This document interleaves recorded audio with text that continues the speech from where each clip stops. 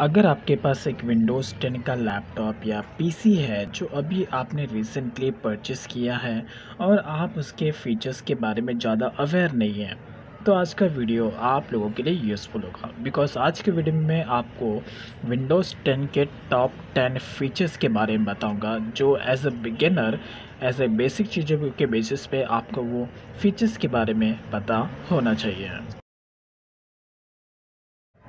तो यहाँ पे नेक्स्ट फीचर है विंडोज़ टेन का फॉर बिगिनर्स वो है सी ड्राइव को क्लीन करना। सी ड्राइव को क्लीन करने के लिए आपको अपना माई कंप्यूटर ओपन करना है और यहाँ पे आपको एक सी ड्राइव का ऑप्शन मिल जाएगा।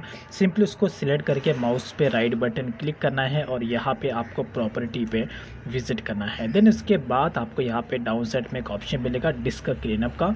सिंपली आपको इस पर क्लिक करना है, यहाँ पे फ़ाइल स्कैन होगा अननेसेसरी फाइल्स आपको यहाँ पे दिख जाएँगे।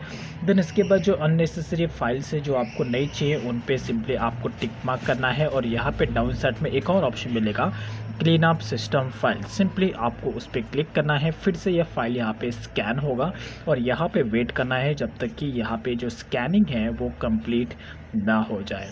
जैसे ये स्कैनिंग कंप्लीट होगा देन इसके बाद यहाँ पे आपको अननेसेसरी फाइल्स के लिस्ट दिख जाएँगे।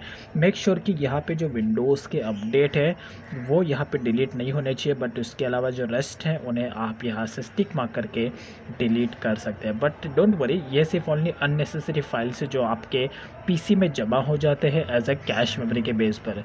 सो so इसको आप डिलीट कर सकते हैं। But except Windows ten operating system so जो नेक्स्ट फीचर है विंडोज़ 10 का बेसिक फीचर फॉर बिगिनर्स वो है बैकग्राउंड में वॉलपेपर को किस तरीके से चेंज करते हैं इवन सेट कर सकते हैं। तो पहले आपको पर्सनलाइजेशन में जाना है देन उसके बाद आपको यहाँ पे एक ऑप्शन मिल जाएगा बैकग्राउंड ऑप्शन का।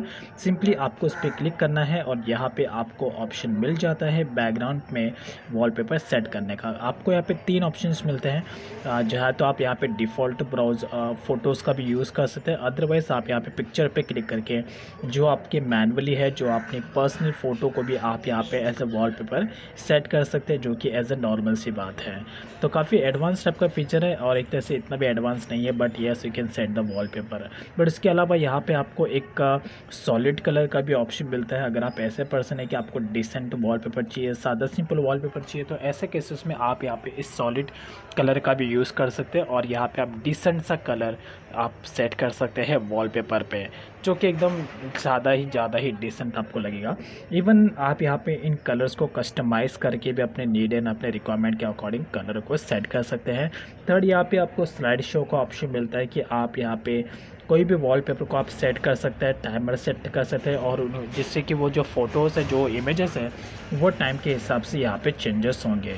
तो आप यहाँ पे कम्प्लीटली एक टाइमर भी सेट कर सकते हैं, जिससे कि वॉलपेपर यहाँ पे चेंज होंगे। सो so फ्रेंड्स ये थे विंडोज़ 10 के टॉप बेसिक से features for specially for beginners तो आप इसको जब आप प्रैक्टिस करिए प्रैक्टिस करते करते आपको इसकी हैबिट हो जाएगी और फिर आप इस फीचर्स के बारे में अवेयर हो जाएँगे। तो ये थे top ten features for Windows ten specially for beginners and ये इसका पार्ट वन है। मैं इसका पार्ट टू का जो लिंक है वो डिस्क्रिप्शन में दे दूँगा। आप वहाँ पे क्लिक करके विज़िट कर सकते हैं।